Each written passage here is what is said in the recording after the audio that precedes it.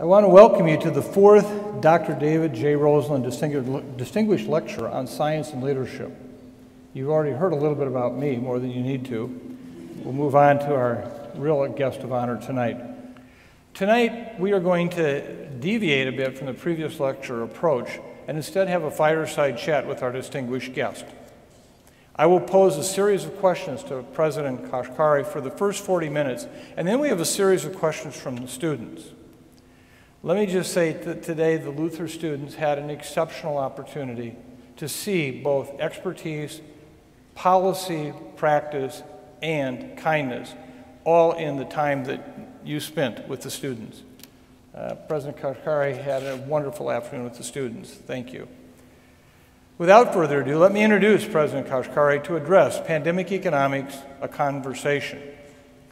Neel Kashkari has been President and Chief Executive Officer of the Federal Reserve Bank of Minneapolis since January 1st of 2016. He serves on the Federal Open Market Committee, bringing the Ninth Federal Reserve District's perspective to monetary policy discussions in Washington, D.C. In addition to those responsibilities, Neel oversees Minneapolis Fed operations and leads its many initiatives. Among them, he was instrumental in establishing the Opportunity Inclusive Growth Institute, whose mission is to ensure that world class research helps to improve the economic well being of all Americans. Most recently, he has joined with retired Minnesota Supreme Court Justice Alan Page to propose amending Minnesota's Constitution to make public, uh, quality public education a fundamental right. This effort supports the Fed's mandate to achieve maximum employment, with education being a key to obtaining a good job. Under Neel's leadership, the Minneapolis Fed also released an action plan on ending too big to fail, which calls for tighter bank regulations to avoid future taxpayer bailouts of large financial institutions. Of interest and of note, Neel earned his bachelor's and master's degree in mechanical engineering from the University of Illinois. He became an aerospace engineer developing technology for NASA missions. Eventually turning to finance and public policy, he earned his MBA from the University of Pennsylvania's prestigious Wharton School and then joined Goldman Sachs and served in several senior positions at the U.S. Department of Treasury, including overseeing the Troubled Asset Relief Program, or TARP, during the 2008 financial crisis. His work was actually key in keeping this country from hitting a economic crisis of unprecedented proportion. I personally have had the wonderful fortune to work with President Kashkari over the past two years addressing the economic implications of the COVID pandemic. He is a leader among the Federal Reserve experts addressing the impact and response to the pandemic. In short, Neel is a true scholar, a gentleman, and as some of our Luther students, as I just noted, realize when they spent that afternoon with him that he is all those and more. Ladies and gentlemen, please help me welcome, welcome President Neel Kashkari.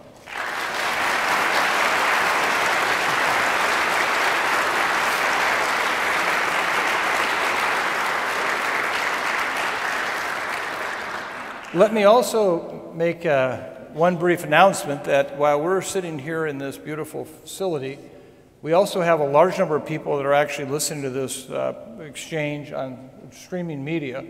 And this is also being recorded by Minnesota Public Radio and will be rebroadcast at a later date. So I believe the reach will be substantial.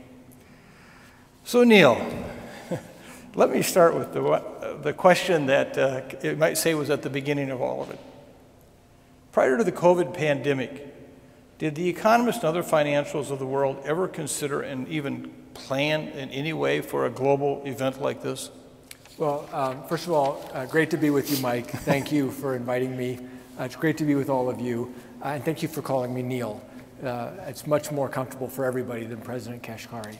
Um, I can't speak about all economists or all policymakers, but at the Federal Reserve, we have teams of economists that are either scattered at the, there are 12 Federal Reserve banks around the country, one in Minneapolis.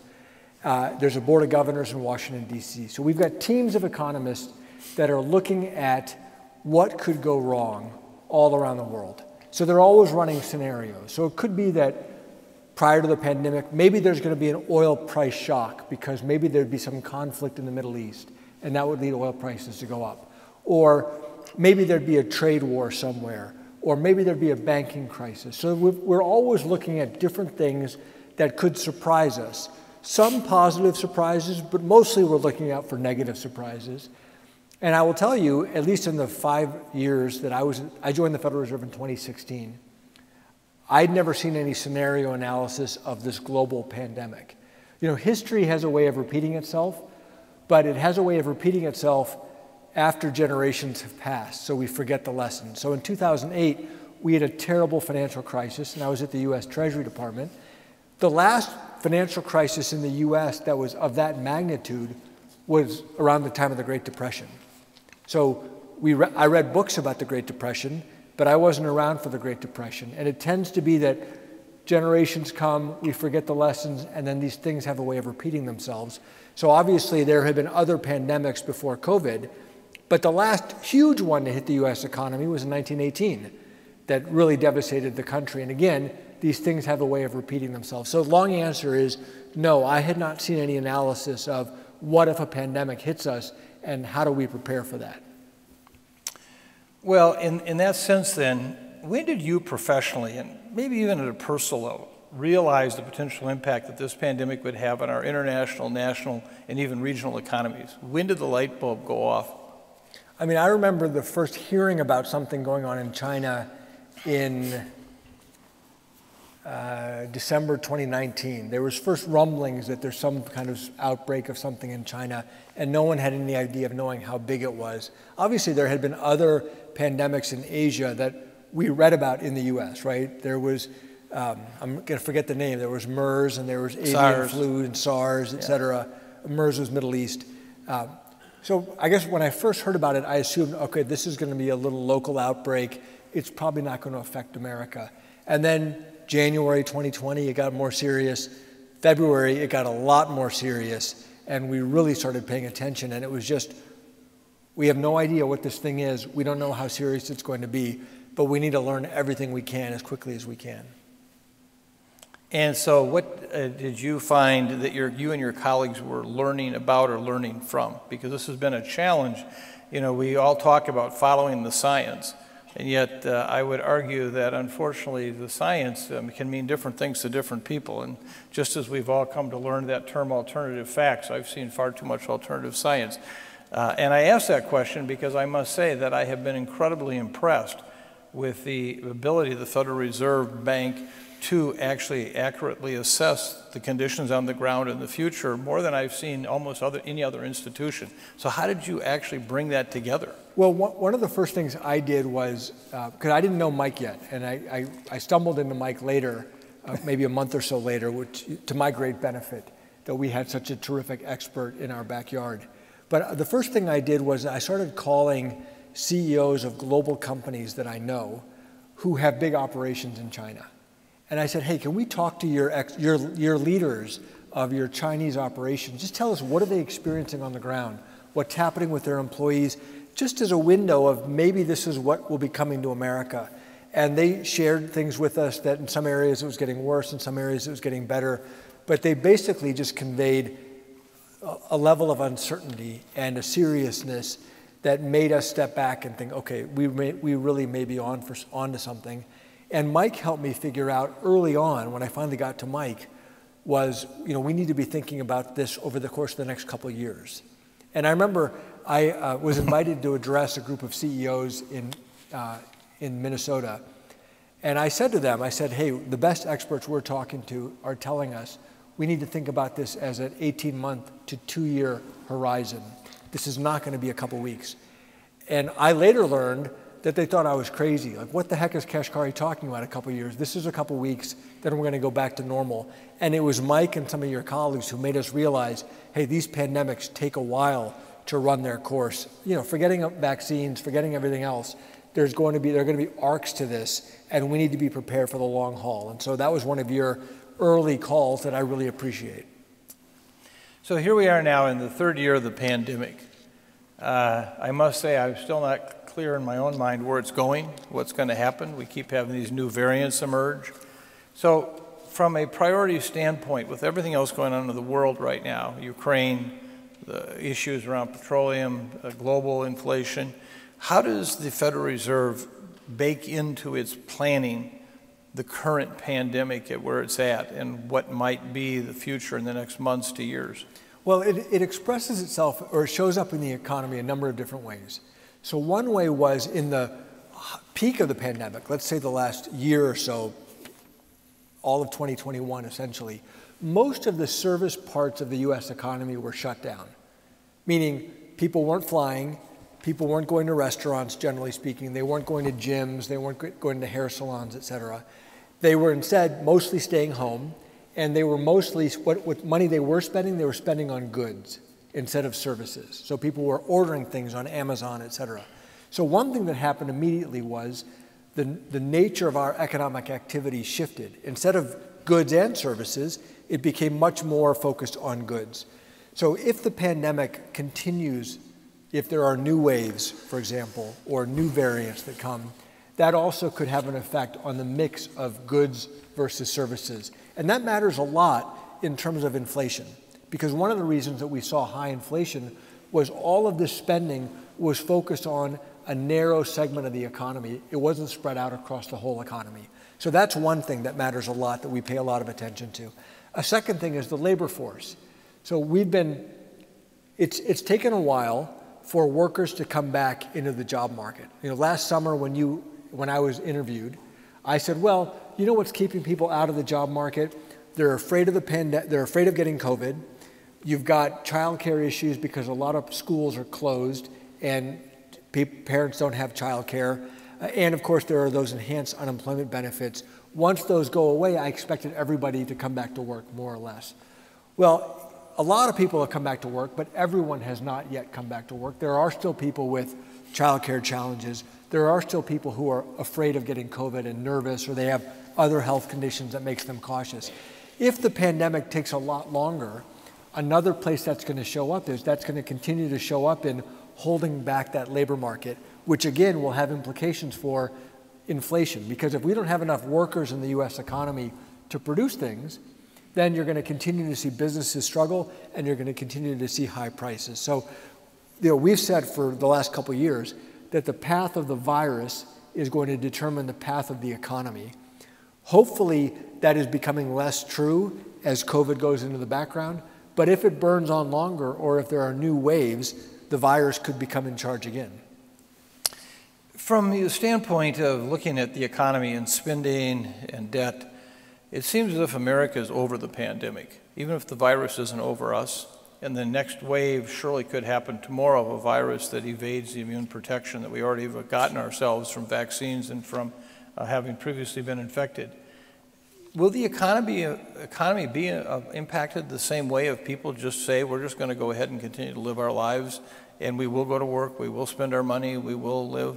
Or will there potentially be tails to this pandemic if it continues to unfortunately rear its ugly head? I think, I mean, you know, you're the um, world class epidemiologist, not me, but my, my reading of it is the people are going to react depending on the risk that they perceive to themselves and their families. So early on, none of us knew. You know, it's like, here's this new thing, and it seems to be getting a lot of people sick and it seems to be killing a lot of people. We were all terrified of the unknown. We know a lot more today than we did, and I think many of us feel more comfortable. I'm vaccinated. My children are young, they're too young to be vaccinated, but the health consequences for young children, knock on wood, are generally pretty good for COVID. So we feel more confident getting back on planes. But if there were a new variant, of course, that changed the risk dynamic, then I think we'd all be reassessing those calculations. And, and your guess is better than mine in terms of what that could look like. Yeah.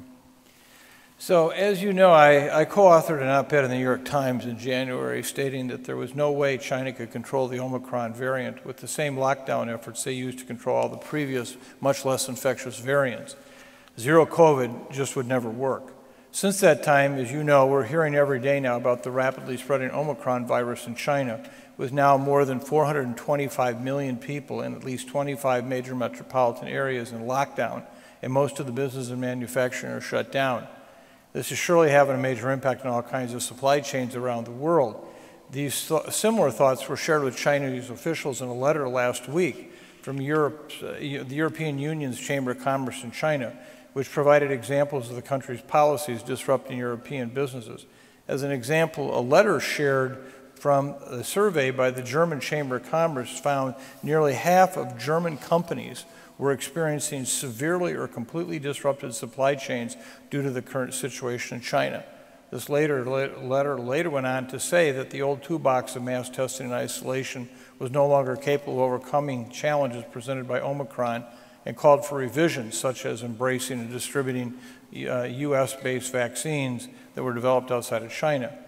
So, what is the current impact from your perspective of this compromised supply chain situation, not only in the United States, but around the world? And what is this going to look like in the months to come in terms of economic impact? Well, one of the things we're obviously very focused on at the Federal Reserve, one of our goals, one of our objectives is to keep inflation in check. And inflation is very high right now, it's much too high. One of the things I'm hoping is I'm hoping that supply chains start to get better. I'm hoping that more supply comes online. If that doesn't happen because of Omicron spreading in China, then our jobs become a lot, easy, a lot harder. Then we're going to have to do more through our monetary policy tools to bring inflation back down. You could imagine in a, in a best case scenario, supply chains get better, COVID fades into the background, then inflation will come down, some of it on its own, and then we at the Federal Reserve will have to do less to get back down to our 2% target. But if Omicron continues to spread in China and supply chains continue to be disrupted, and of course, there's the tragedy happening in Ukraine right now as well, uh, all of that makes our jobs more difficult.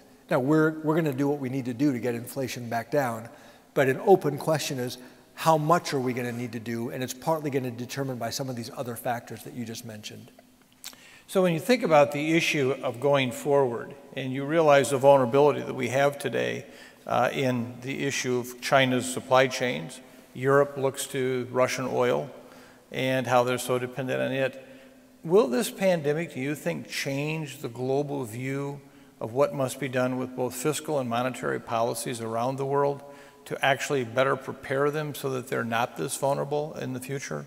You know, I don't know what the lasting effects of fiscal and monetary policy are going to be. Um, I hope that we're better prepared in the future for future pandemics, you know, but I've also learned that democracies tend to have fairly short memories. You know, something else comes up and then everybody focuses on that. Uh, so, you know, hopefully people like you will be able to. And by the way, I read Mike's. The problem is here's, here's an example of the problem.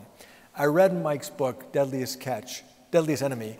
When did you, excuse me, when did you, uh, when did you write it? 2017. That was the first yeah. Roslien lecture. Was the week that book came out. so I, I read it. In, I read it in 2020. So I'm, you know, I'm a guilty party. I didn't read it when it when he first made these kind of calls. Um, so whether we actually have the institutional memory as a society to make the changes, I don't know.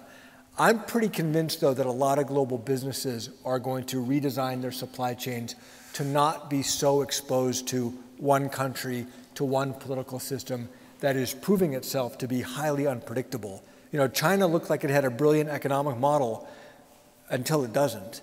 And then all of a sudden, a lot of global companies and their customers are exposed. So I'm not saying that companies aren't going to do business with China. But my expectation is global, com- global companies will have other sources of materials and products that they can turn to if they need to. So when you look going forward, what, where we might go or what we might do, a lot of people obviously are going to focus monetary and fiscal policies on the politics of the day, the upcoming elections. Can you explain to the group here how that actually varies from reality and what you all do relative to fiscal policy versus monetary policy as a federal bank. I think a lot of people just think you have a big printing press somewhere, you make lots of money, hand it out, and then that's it. And actually, it is much, much more sophisticated and frankly uh, critical as to what you do in terms of trying to guide us through crises like this.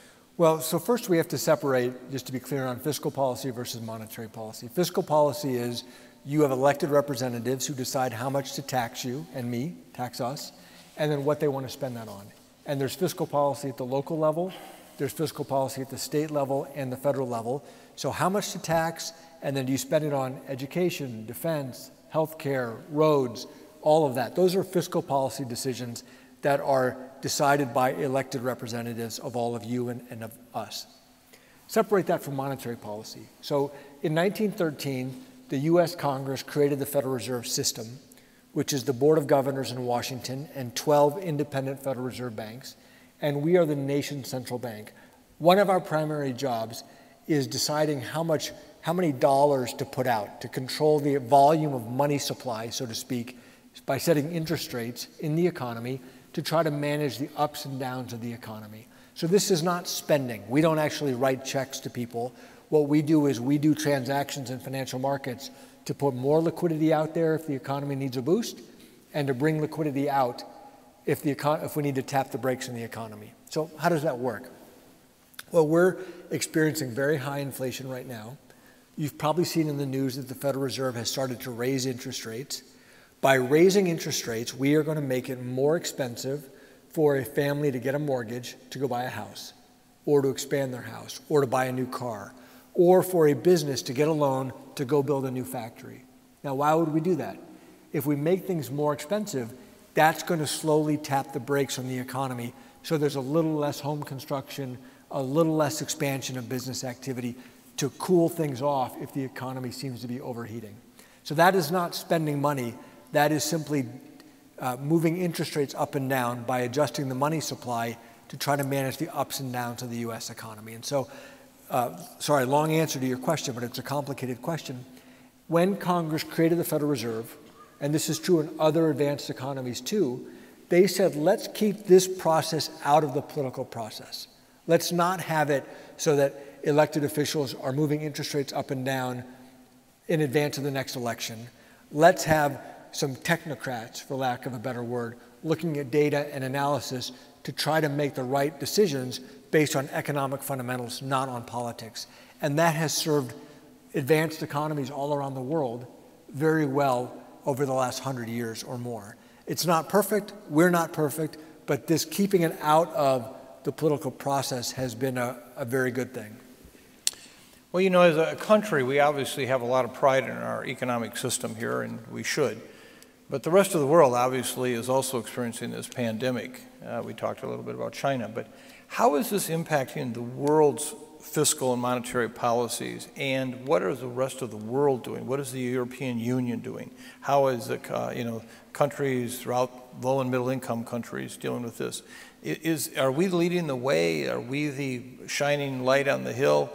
What is the global approach to this issue? Well, I think uh, lots of countries are taking different approaches, and you are seeing differences. You are seeing variation. So, first thing is it, the high inflation that we're experiencing here in the U.S. Many countries around the world are also seeing high inflation, but we are seeing higher inflation than our uh, peer economies, like the EU uh, or Japan or the UK, for example. So, why is that? Why are we experiencing high inflation? Well, part of the reason they're all experiencing inflation is because a lot of the goods that we buy are global. So, for example, when supply chains for computer chips get disrupted and those chips go into cars, well, cars are sold all around the world. So, if there's a shortage of cars because there's a shortage of computer chips, it's not just going to hit the US, it's going to hit economies all around the world. The shift that I talked about a few minutes ago away from services towards goods, that happened all around the world. So some of these things are common, but then you also have local policy responses that are different. So all the central banks around the advanced economy central banks were quite aggressive in dealing with COVID to try to stimulate the economy, but their state, their federal legislatures were different. They all provided some support, but the US Congress was more aggressive than even more aggressive than the EU, for example, or than Canada or than Japan. So some people say, well, that's one of the reasons that the US is experiencing higher inflation than those other countries. They're all experiencing high inflation, but the US is experiencing even higher inflation. Some people say, well, that's because the US fiscal authorities did more than those other than those other countries did. So we're learning from each other. Some of it we can uh, unravel, to understand. Some of it we're still trying to figure out. This really isn't a, a, question about the Federal Reserve as much as just your learned experience. Right now, we are experiencing a real stalemate in Congress because there are those who want to hold back funding additional work on COVID with vaccine purchases, drug purchases, et cetera, Uh, and uh, one party says, look, there's way too much money out there already, let's claw some back that hasn't been used. There's states sitting with all these surpluses. Other side of the aisle is saying, no, no, no, that money is going to be spent, it's very important. Meanwhile, the public health response is sitting there frozen. We can't buy new vaccines, we can't buy more drugs, we can't buy testing right now. From a Federal Reserve perspective, which realizing you can't comment on the monetary fiscal issues like that though, but do you see in the future more and more opportunities for government to actually become part of the problem as opposed to the solution in the sense of putting the pandemic into a more political light than it was before? There may have been. Is that political. possible? What's that? Is it possible? It seems like it became quite political quite quickly. Um, more, more political. More political. I mean, I'll say this. One of the things in 2008, the federal government responded to the banking crisis, and the Federal Reserve responded. But I think history will show that even though they were very aggressive in 2008, and I was part of it, so I'm not throwing stones here, I think history will show that we were not aggressive enough. And so we ended up having a very slow recovery coming out of 2008. It took 10 years, 10 years to put everybody back to work who had lost their jobs relative to 2008. That's a long time. So, one of the lessons is better to err on the side of doing too much rather than too little. So, I think I give Congress and the executive branch, both the Trump and Biden administrations, a lot of credit that they said we're going to err on doing too much. Now, some may say, hey, they overdid it, and it's even too much, too much. But they at least learned the lessons from 2008 that they acted aggressively in this time of pandemic and in this time of economic crisis. So I give them a lot of credit for that. Obviously, there are a zillion details to be worked out, and nobody can get all the details perfect in the middle of a crisis. But big picture, I think the U.S. response was, was appropriate. You know, what it looks like going forward, you know, you're, you're in the middle of it much more than I am. And so I, I'd have to turn the question around to you. Good luck. um, so, eh, from the standpoint, here we are at Luther College, a, a wonderful liberal arts institution that brings us a broad brush of uh, topics and subject matter together under one roof. And today, though, when we think about the economists and the business administration graduates of our colleges and universities, what should they be learning about this current experience that will serve them well as they move through their careers? And how should employers be thinking about what they want in their new employees relative to this experience and what it should have taught us? You know, it's a great question. I would say one thing that comes to mind is living, living and making decisions in the face of uncertainty. Like that's that is what this pandemic. One of the things this pandemic has been about. I mean, it has been. Mike, you're you're very gracious and always telling me, "Hey, I'm sorry to tell you, I don't know." I mean, you say you tell me that a lot, but I appreciate it because you're being very honest with your decades of experience about what we know and what we don't know. And even if you don't know, even if we don't know, we still have to make decisions. And so being able to operate and navigate, assess, and then reassess. You may have thought, we may have thought, hey, this makes sense, but then all of a sudden the world looks very different or you get more information. And so being able to navigate in that uncertainty, I think, is something that is not only relevant for pandemics, I actually think those are good lessons that people could apply in all sorts of different situations. Let me uh, move to a couple of student questions. Uh, I think they were really very insightful. Uh, Duke Chu, who met with us today, asked, how can we best fund the healthcare sector so it's well prepared for the next medical crisis? Let me add a, a little addendum to that. Uh, it may not be uh, common knowledge, but over 500,000 healthcare workers in this country have left their jobs in the last two years, often because of burnout and challenges presented by the pandemic. We are, in many instances, incredibly short of the minimum number of healthcare workers we need to provide the kind of healthcare. As a Federal Reserve Bank, you do so much research on workforce and what we need to do to develop the workforce of the future, how do we support the current workforce. It seems that this pandemic, not just for healthcare, but for many of the what we would call basically front end jobs, those critical elements of everyday life, the truck drivers, the grocery store workers, the people who made it possible for us to get through the pandemic.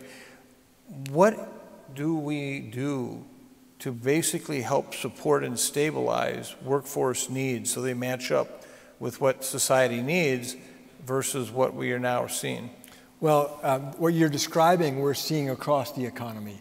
So, one of the good things right now is that the job market is very strong. There are a lot of jobs out there. A lot of employers are saying, we can't get the workers we need, which means that workers have choices.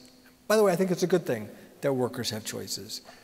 Uh, but what we're seeing is a shuffling, a reshuffling of workers away from the toughest jobs to better jobs, better lifestyle jobs, better pay, better combination of lifestyle and pay.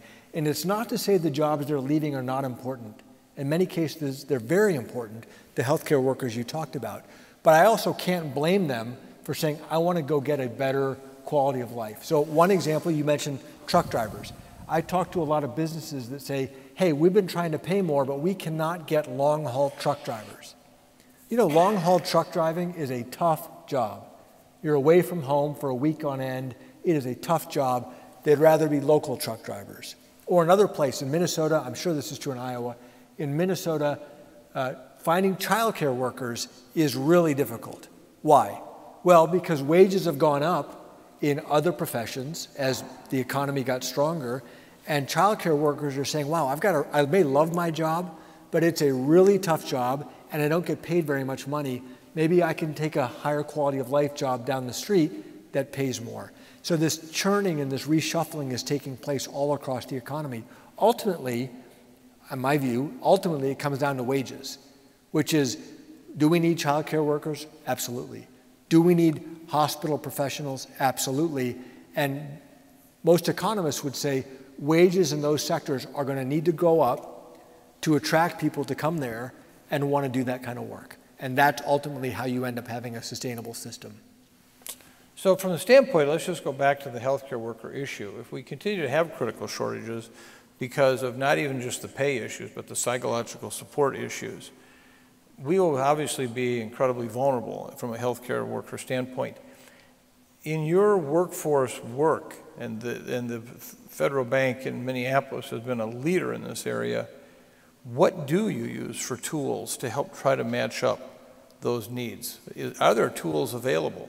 It's, it's very hard. You know, one of the things that we've studied is if you look at, for example, worker retraining programs that have taken place nationally, it's very hard for those to work nationally. So when the, when the financial bust crisis happened and the housing bust happened in 2008, 2009, all of a sudden you've got hundreds of thousands of laid off construction workers.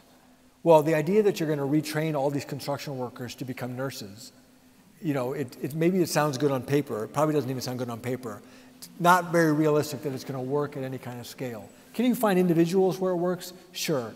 But is it going to work for hundreds of thousands of construction workers? Probably not. The best programs that I have seen are very local, where a college, say Luther, partners with local businesses that have specific needs and says, hey, help us develop the pipeline of skilled workers that we need. Could be community colleges, et cetera. And so what I've seen work is when local businesses partner with local education institutions to try to bridge these gaps and map the workers. Other than that, and pay adjustments, I've not seen anything that works. Let me uh, move off a little bit on the pandemic, but it, in the end, it will circle back. The work you did with uh, Justice Page is really an important effort relative to racial disparities and access to education. And one of the areas that we've seen in COVID has been racial disparities, where the uh, rate of deaths uh, the rate of serious illness, and the people who had to stay on the front lines and work day in and day out were also non white largely. When you look at what you're trying to do with uh, Justice Page, and guarantee that, how does that address the issue of health disparities at the same time that it's addressing it? Because I think people often disconnect education from health outcomes, and they're so closely linked as your work is showing. Yeah.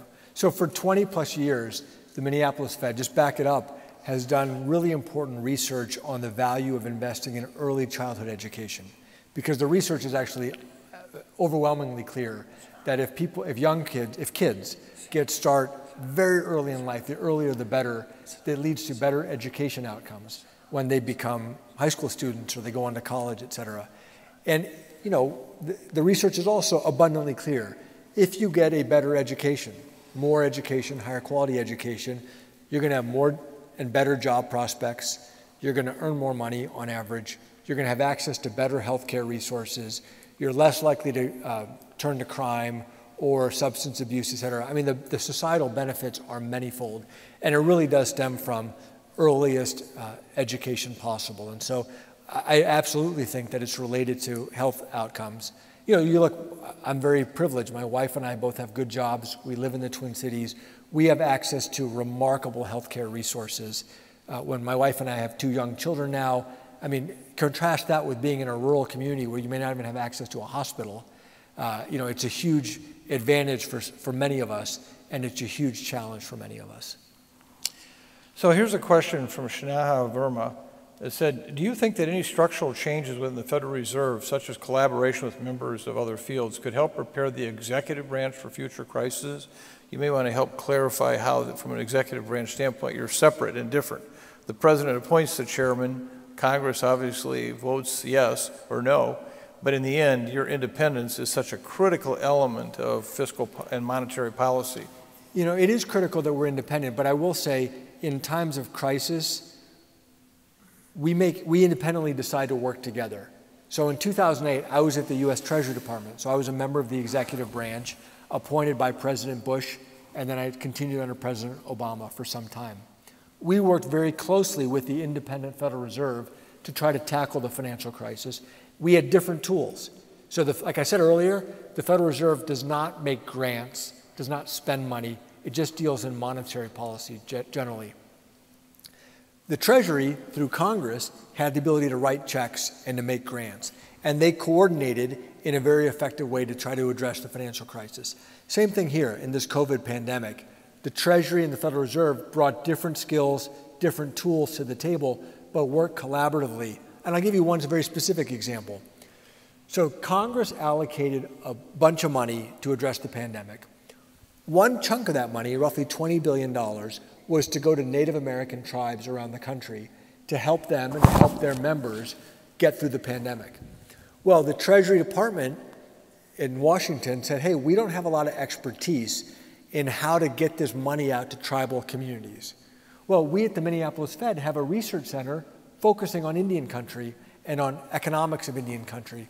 So we sent some of our people to Treasury and said, we're going to put you on detail, on loan to Treasury to help them design their programs. So that was one case where we just said, we're going to lend you experts, and then they can help you design the programs that you need to help. And so in times of crisis, I think it's a really positive thing that these otherwise independent institutions can come together to work collaboratively, and that's one example of it. So, what would be your worst nightmare right now that could happen in the world relative to what it would do to the global economy?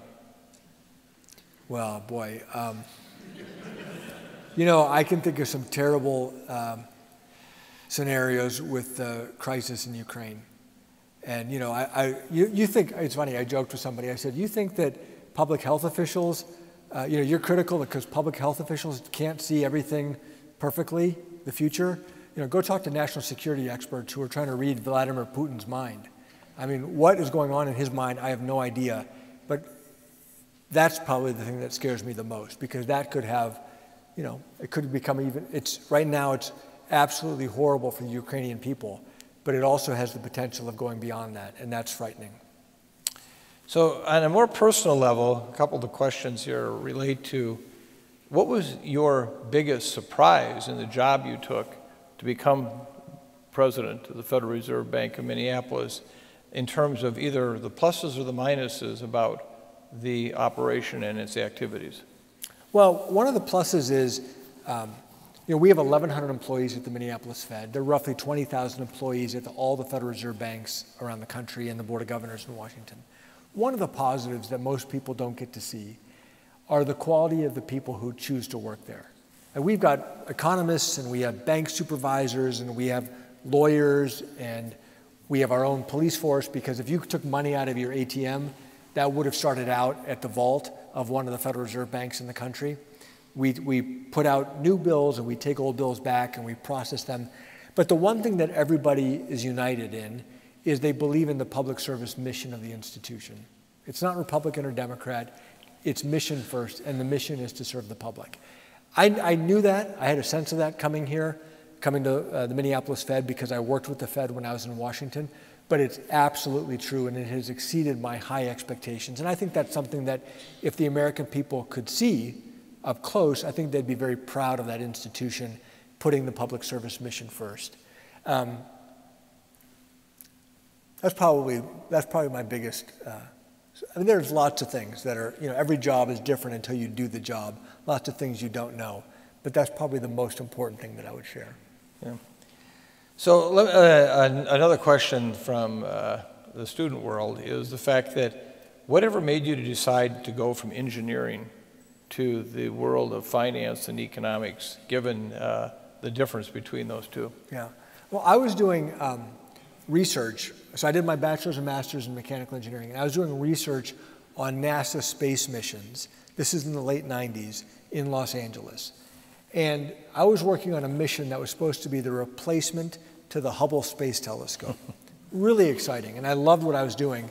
But my managers were encouraging me to go get my PhD.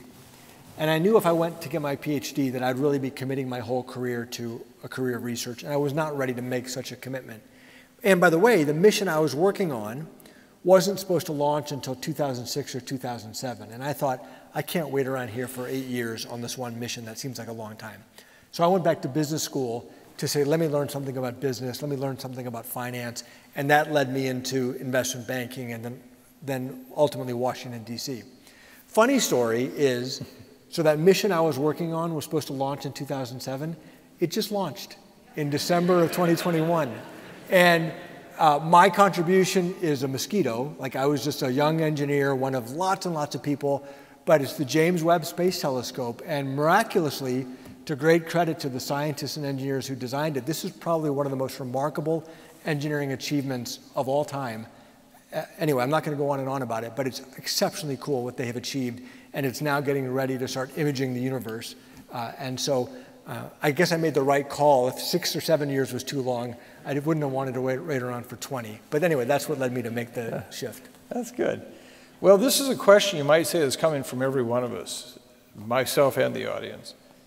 What will do you think the economy will look like in one year, in five years, in 10 years?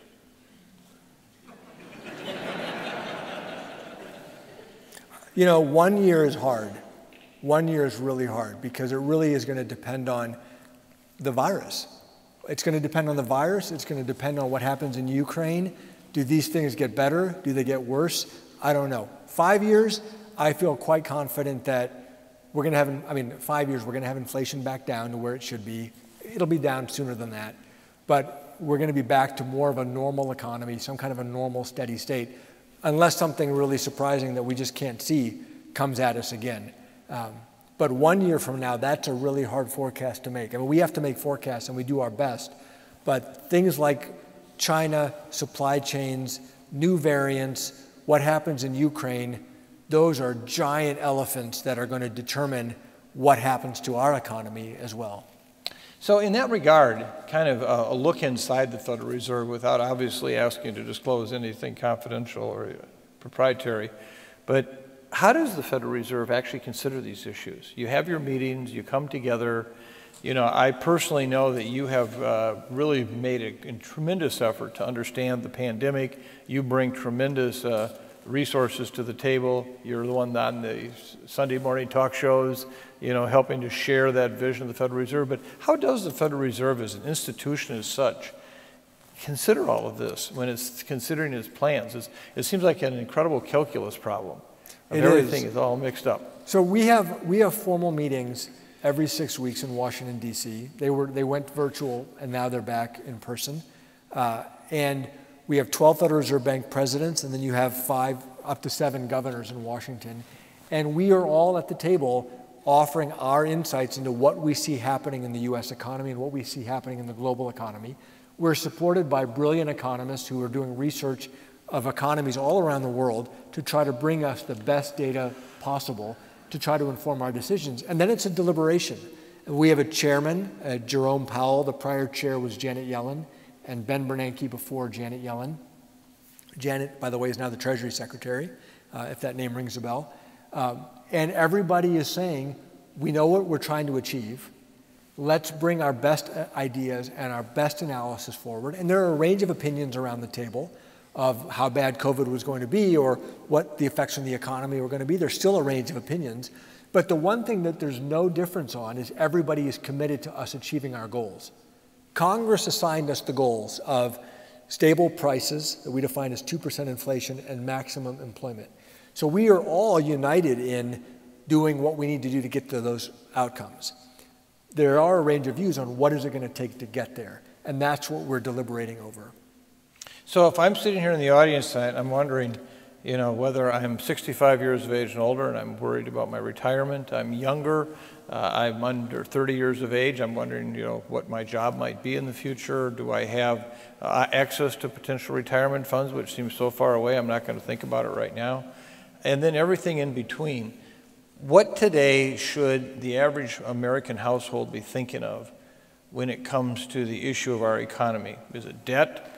Is it access to jobs? Is it uh, what? What is it that really should be in the front and center of every household thinking about their own financial situation? You know, um, uh, it's hard to it's hard to boil a very complex question onto one thing, but I would say this: there is great value in having a job. For the vast majority of people, I mean, a lot of Americans don't own their own home, as I'm sure you know. Uh, a lot of them don't have their own 401k. For many people, the most valuable asset they have is their job. And so, one of the things that we learned in the 2016, 17, 18, 19, businesses kept saying, There's no more workers, there's no more workers. But then jobs were being created. Well, wait a second. If there are no more workers, how are jobs being created? A lot of people chose to work who we didn't think were going to work. People who were becoming retirement age said, hey, I'm still healthy. I can get a pretty good job. I'm going to go back to work, or I'm going to keep working, or I'm going to work part time. I would just say the lesson that I've learned over and over and over again throughout these crises is there's tremendous value to individuals and to society of work. Whatever it is you're doing, there's value in that. And that's probably the single best thing anybody could do to prepare themselves and their families for the future. If you're able to work, go to work. And you know, try to put something aside if you have the luxury of being able to do so. That to me is the best defense against all of these scary things that we can't predict that might come at us. So, and then one specific question here, again from uh, the student side of the house, is what is your perception uh, of the whole issue of student debt today? And what does that do in terms of looking at the workforces to the future, in terms of how their job decision may actually be predicated on what they have to pay back and what they're going to be required to receive as salary in order to pay back those student debt loans? Well, um, one thing we know is clear is that over time, the benefit and the need for more education has only increased, more and better education. And that's going to continue. We are, no, we are largely a knowledge economy. Over time, that's going to become more true. That means we have to find a way as a society of educating a greater share of our young people and the answer cannot be we're just going to saddle them with more and more debt. That doesn't work. So we have to come up with new models that allow us to educate young people, give them a very high quality education, and do it more efficiently. So one, one benefit from the pandemic is all of a sudden we've now learned how to use Zoom and Teams and some of these technologies. Now that's not for everybody. That's not for every class. That's not for every young person. But I think that there are new, new potentials that are being explored because of technology that maybe for some things we can reach more people and it doesn't just mean more and more and more cost or more and more buildings. And so we as a society have to find a way of educating more of our young people. If you look over the arc of American history, part of America's huge competitive strength was we educated more of our young people than other countries did. Far more Americans were getting a high school diploma than other advanced economies in our past. Far more were going to college than other advanced economies in our past. That advantage, that gave us an economic advantage. That economic advantage is now eroding as other societies catch up. So if we want to be competitive in the future, we need to invest, we need to make sure we're educating more and more of our young people with the quality education, and it cannot just be more and more debt. Well, we're running short of time here. It's hard to believe that a whole hour's gone by. Before I close and offer you the last comment, I just want to say that as someone who has had the opportunity to serve roles in the last pres- seven presidential administrations, I've had the opportunity to work with some exceptionally uh, gifted people who have done a great work. And I must say that it's with heartfelt feelings that you are among the very top people I've ever worked with. I have such admiration and respect for what you do, how you do it. Uh, the people who work with you and for you feel very the same way. You are really, on behalf of a grateful public, I thank you for what you do and how you do it. You get the last word. Well, uh, it's very kind of you, Mike. The ad- admiration is mutual. I feel very lucky that I was able to bump into Mike. Uh, I read about him in the New York Times. I said, There's somebody down the street. I need to call this guy and see if he knows anything about the pandemic. Uh, and you've been a very generous uh, resource and, and really appreciate it. And so, uh, like I said, the admiration is mutual. And I really appreciate being invited here tonight. I have to confess, this is my first trip to Iowa. Uh, it's great to be here. You all have been wonderful hosts and I hope to get to come back sometime soon. So thank you very much for having me. President Neel Kashkari, thank you very much.